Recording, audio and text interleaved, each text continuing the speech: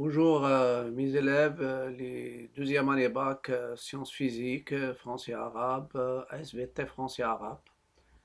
Dans cette vidéo, je vais continuer la correction d'une série d'exercices que j'ai déjà publié dans un réel Facebook et dans un post YouTube.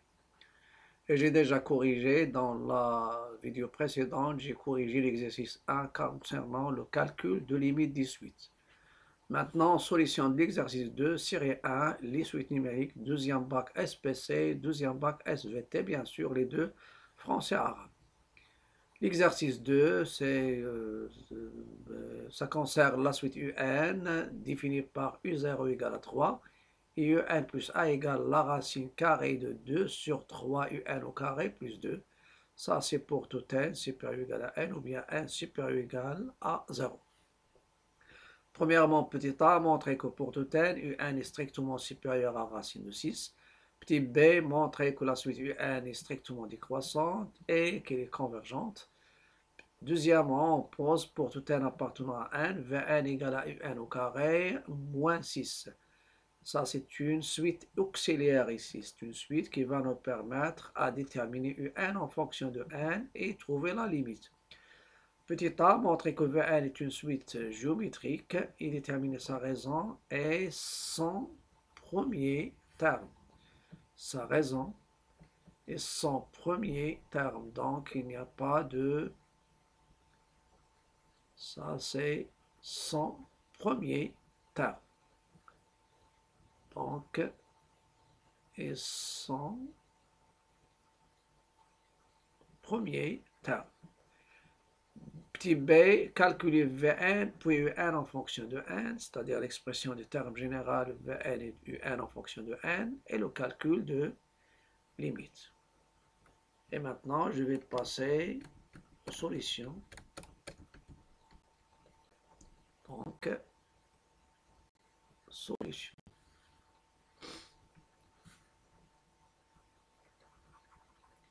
Donc, une fois on a l'exercice, vous pouvez mettre pause, chercher, et après, vous pouvez suivre les étapes de la solution.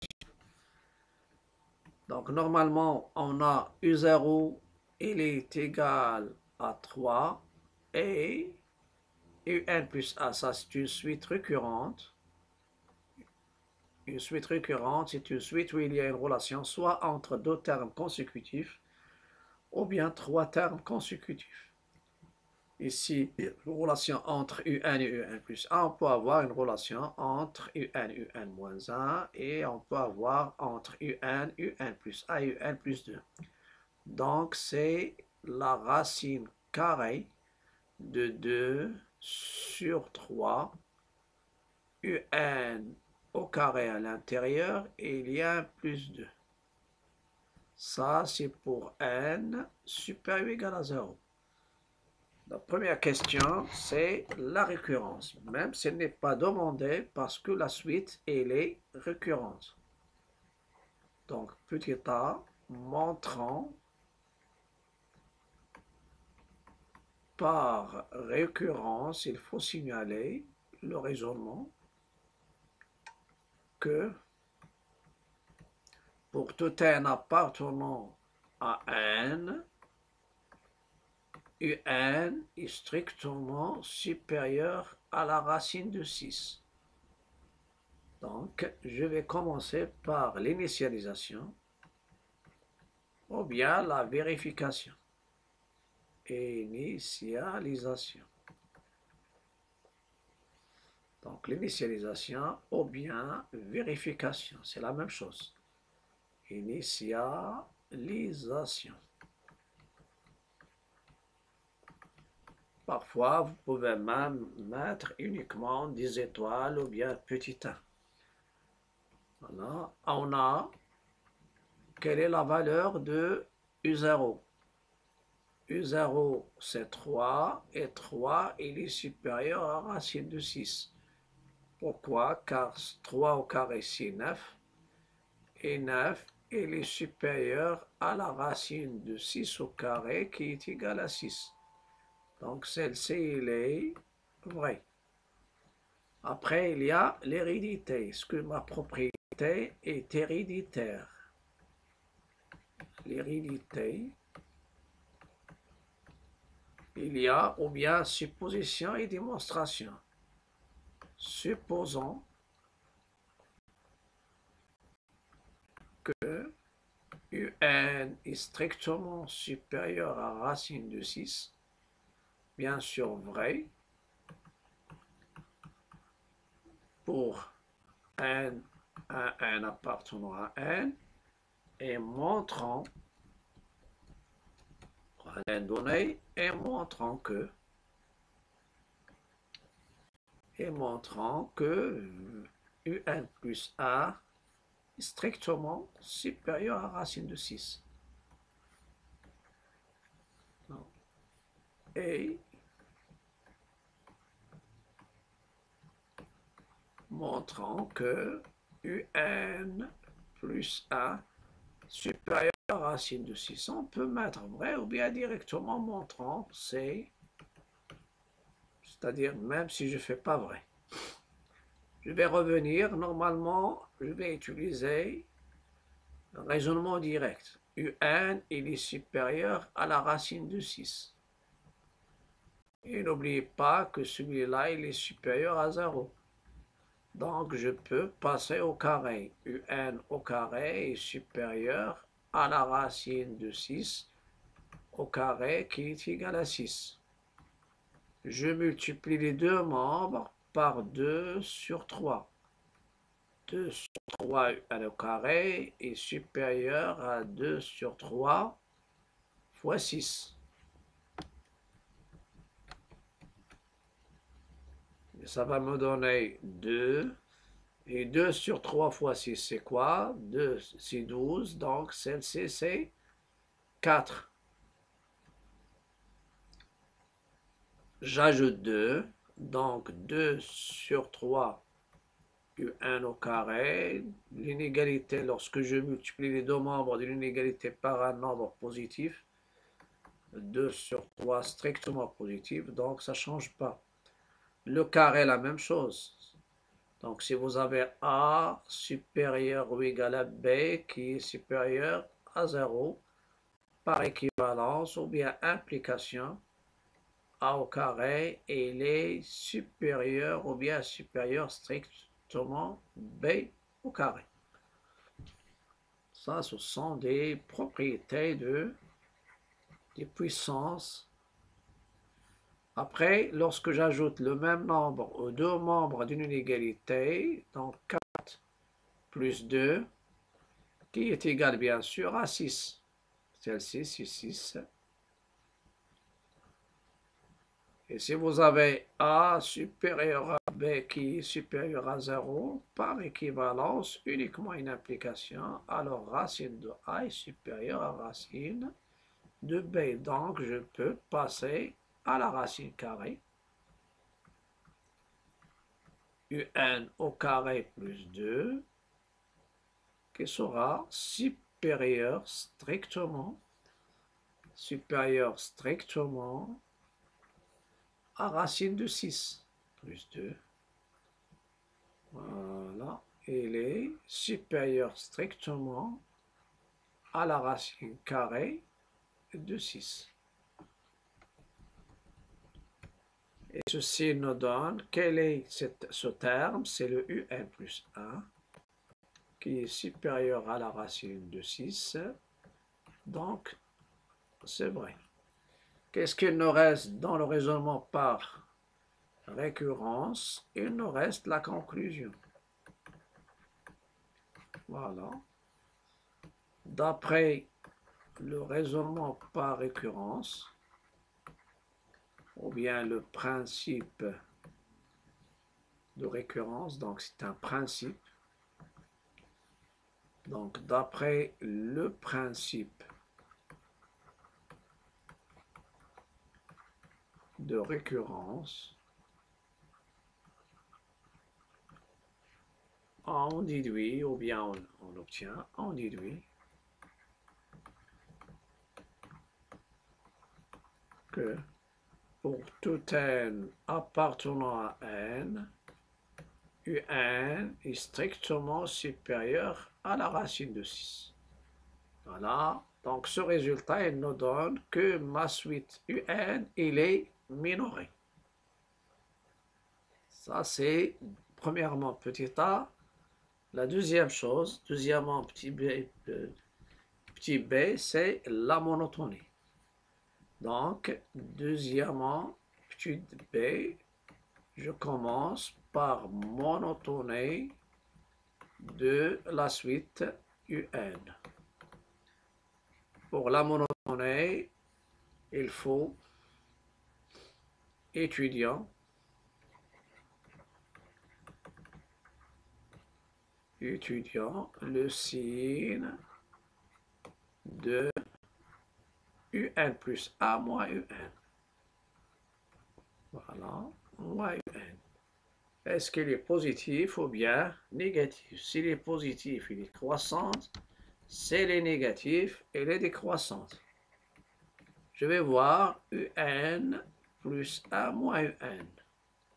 Je laisse UN et je remplace UN plus A par la racine de 2 sur 3 UN au carré plus 2 moins UN. Et pour avoir, donc je dois avoir une expression sans racine carrée en fonction de UN. Donc, qu'est-ce que je vais faire? Je vais multiplier par le conjugué. Parce que en racine carrée, le conjugué, il devient, il va nous donner un carré. Donc, le conjugué, c'est la racine le dénominateur, 2 sur 3 U1 au carré plus 2. La racine, c'est positif, plus UN. Et vous savez que UN, il dépasse racine de 6, donc positif. Ici, ça apparaît normalement un nombre qui est positif. Et en haut, c'est la racine de 2 sur 3, UN au carré plus 2 moins UN fois le conjugué. Vous pouvez faire la, différence des carrés directement. Plus 2 et plus UN. Voilà. Donc, UN plus 1 moins UN. Le dénominateur, bien sûr, c'est la racine de 2 sur 3 UN au carré plus 2 plus UN. Et au numérateur, c'est la différence des carrés. UN au carré plus 2. Le tout au carré moins UN, le tout au carré. Voilà le carré, il élimine la racine carrée. Donc, ça va nous donner un plus 1 moins un. Le dénominateur, c'est le même. C'est la racine de 2 sur 3 un au carré plus 2 plus un. Et en haut, ça va rester 2 sur 3 un au carré plus 2 moins un au carré. Donc, un plus 1 moins un, est, est égal.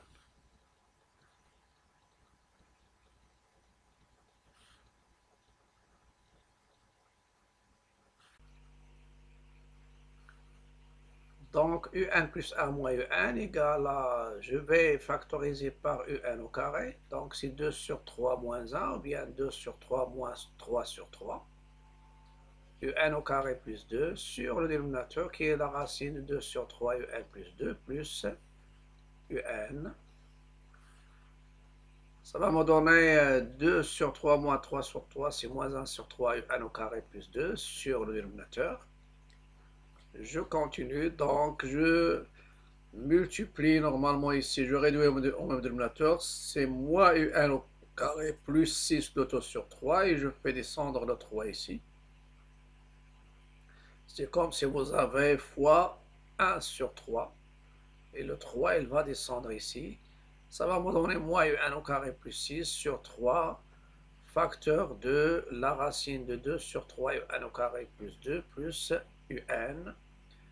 Le dénominateur qui est le numérateur qui est sans signe, un supérieur à racine de 6, donc le carré supérieur à 6.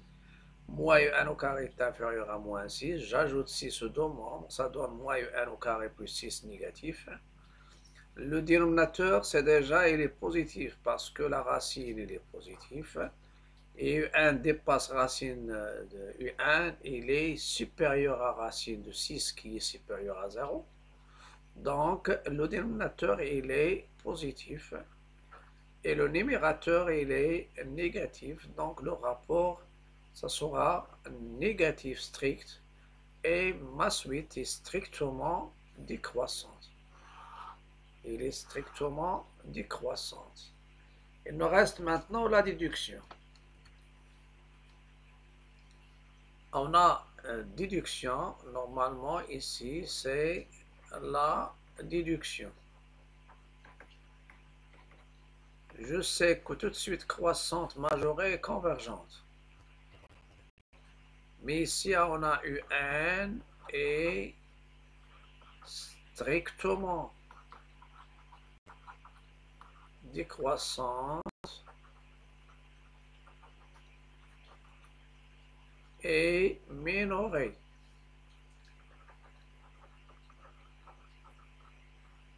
par racine de 6,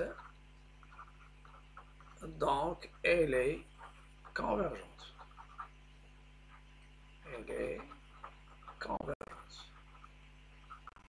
Ça veut dire il y a l'existence de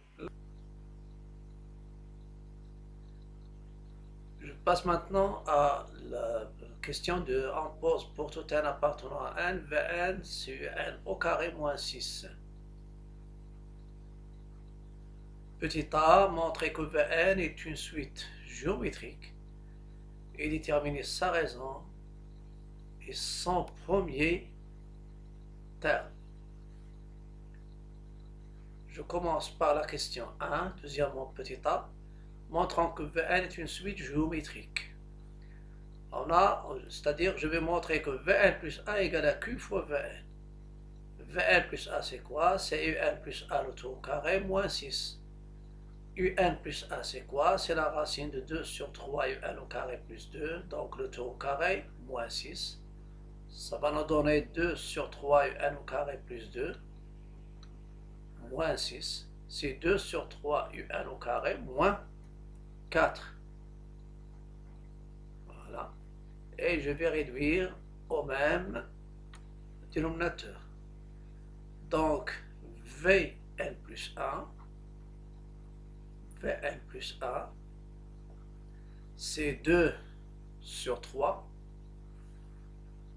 Dire ici, je vais rectifier un peu. Donc, c'est 2 sur 3.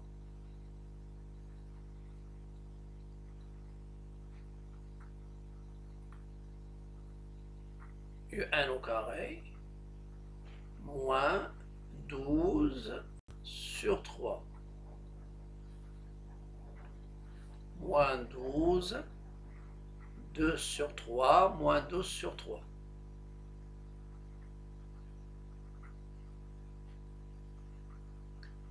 et je vais factoriser par 2 sur 3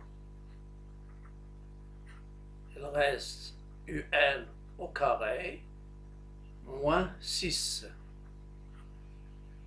Et vous pouvez remarquer, ça apparaît Vn plus 1 égale 2 sur 3 Vn. Voilà. Donc Vn, il est géométrique de raison 2 sur 3. D'où Vn est une suite géométrique de raisons Q égale 2 sur 3. Et de premier terme et de premier terme V0 qui est égal U0 le au carré moins 6. Le U0 c'est 3 au carré moins 6 et ça va me donner le V0 c'est 9 moins 6 c'est 3 voilà le premier terme. La question après calculer Vn donc V0 sur U0 au carré moins 6 U0 sur 3 9 moins 6 c'est 3 la question maintenant petit b. Petit b, déterminant Vn. Deuxièmement, petit b. Je commence par Vn en fonction de n. En fonction On a Vn une suite géométrique avec Q c'est 2 sur 3 c'est ça la raison. De raison 2 sur 3 2 sur 3 un au carré. 2 fois 6 fois moins 6 donc c'est moins 12 sur 3 et V0 égale à 3. Donc ceci implique que pour tout n appartenant à n, la règle Vn c'est V0 fois Q à la puissance n. Et ça vous donne pour tout n appartenant à n, Vn c'est quoi? C'est le terme général. V0 c'est 3 fois 2 sur 3 le tout à la puissance n. Je peux la laisser comme ça. C'est ça le terme général. Vous n'avez pas le droit de simplifier ici 3 par 3. Mais vous pouvez l'écrire 2 à la puissance n sur 3 à la puissance n moins 1. Mais ça va va pas vous permettre de déterminer la valeur de la limite de Vn. Voilà. Maintenant, je passe à l'expression de un en fonction n. Exprimons un exprimons voilà ou bien je vais déterminer un en fonction de n. N'oubliez pas qu'il y a une relation entre Vn et Un. Vn c'est quoi? C'est Un au carré moins 6. Ça implique que Vn plus 6 égale Un au carré. Et n'oubliez pas que Vn est strictement positif. Donc, UN c'est quoi? C'est la racine de Vn plus 6 car UN est strictement positif. Puisque UN est strictement positif, normalement ici, il y a plus ou moins. Donc normalement, UN au carré égale Vn plus 6, ça veut dire UN égale racine de Vn plus 6 au moins la racine de Vn plus 6. Mais puisque UN est positive, donc je garde uniquement la racine positive. Et maintenant, ça me donne l'expression de l'expression demandée. Donc c'est Vn c'est quoi? C'est 3 fois 2 sur 3 à la puissance n et plus 6. Et ça bien sûr pour n supérieur ou égal à 0. Et voilà l'expression de Vn en fonction de n. Vn, euh, Un en fonction de n. Qu'est-ce qu'il nous reste maintenant? Il nous reste, je pense, la limite. La limite de ma suite UN. Donc c'est la question, je pense, petit c. Petit c, calculons limite de UN. La limite lorsque n tend vers plus l'infini de UN, c'est quoi? C'est la limite en plus l'infini de la racine de 3 fois 2 sur 3 le toit à la puissance n plus 6.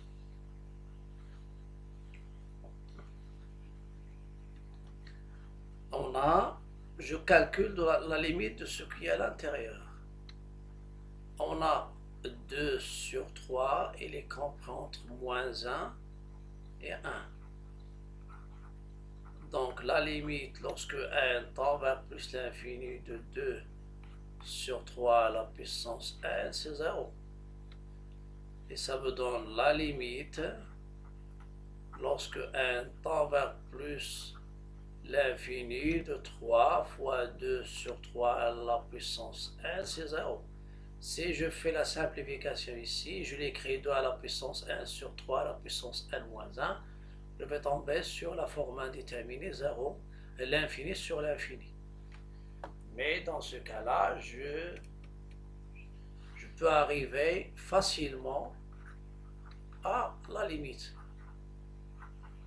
Lorsque n tend vers plus l'infini de n, ça sera, c'est la racine de 0 plus 6 et c'est la racine de 6. La, ma suite, elle est décroissante mais n'aurait pas racine de 6 et on a montré que sa limite c'est la racine de 6. Et ce qui nous a permis de déterminer cette limite, c'est soit c'est la suite auxiliaire Vn qui est déjà exprimé en fonction de la suite de récurrente UN et c'est une suite qui est géométrique. Donc ça sera tout pour cette vidéo. N'oubliez pas de s'abonner à ma chaîne YouTube. Si vous êtes sur YouTube, si vous êtes sur Facebook, essayez de cliquer sur inviter ou bien suivre. Et n'oubliez pas de liker, partager et commenter.